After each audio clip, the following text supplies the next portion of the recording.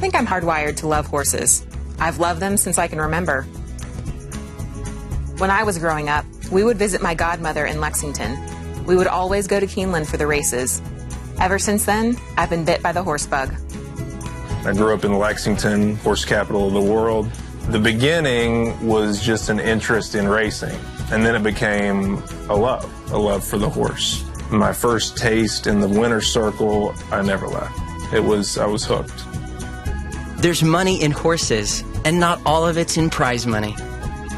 In Kentucky, the starting gate marks the end of a process that began years earlier breeding, foaling, training, and running in thoroughbred races all require human assistance. That means jobs. So if you're one of those people who've been bit by the horse bug, you're in demand.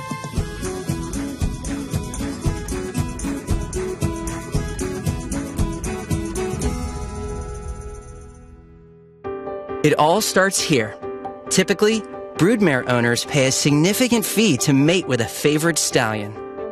The most joy is being able to, you know, uh, have a client that sends me this mare off the racetrack and we get her to the breeding shed. And, and, then, and then you have 11 months and that baby comes out. That's, that's pretty special. A thoroughbred foal can stand on its legs in its first hour of life. It begins to gallop soon after its first day. You work with the foals each and every day. You put hands on the foals so that they trust you. And uh, if they trust you, they'll give you everything they've got. And that goes a long way. Before long, weanlings romp through bluegrass fields with their stablemates. As their competitive nature takes shape, training begins. Frequent contact develops trust between human and horse. As that bond matures, walking with a bridle begins the process of breaking the horse into saddle. The bucking broncos of the Old West risked injuries. Today, much gentler tactics are employed to acquaint horse and rider. When a horse's owner decides it's destined for the racetrack, some of the more promising yearlings are auctioned for substantial sums. And then more rigorous training begins.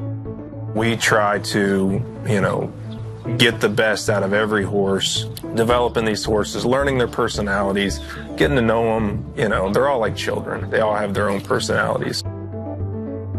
When I went to school and we needed an internship, first thing I thought of was the Kentucky Equine Management internship, which was wonderful.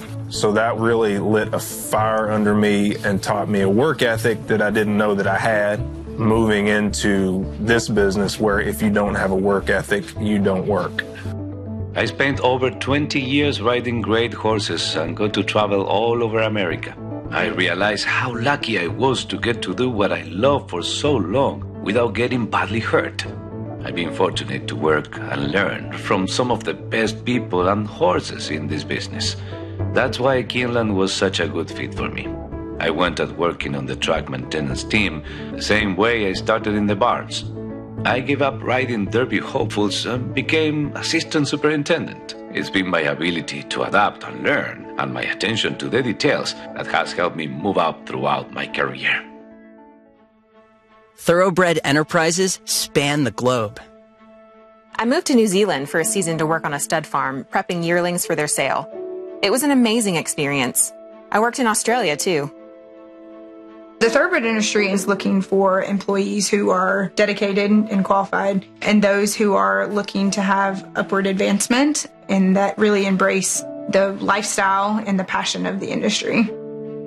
There are hands on positions with horses that would need individuals that have some horsemanship abilities, but there are positions in all aspects as well anything from landscaping and maintenance to finance and different things in the office. So there's a little bit of something for everyone in the industry. Most thoroughbreds don't become household names by racing. Many find homes in recreational riding or dressage. Horses can live well over 20 years. The more fortunate find a comfortable retirement. Throughout their lives, they've been nurtured, trained, and supported by teams of people who have found careers in their care. If you're one of those people with a special feeling for these marvelous animals, if you've been bit by the horse bug, you're in demand.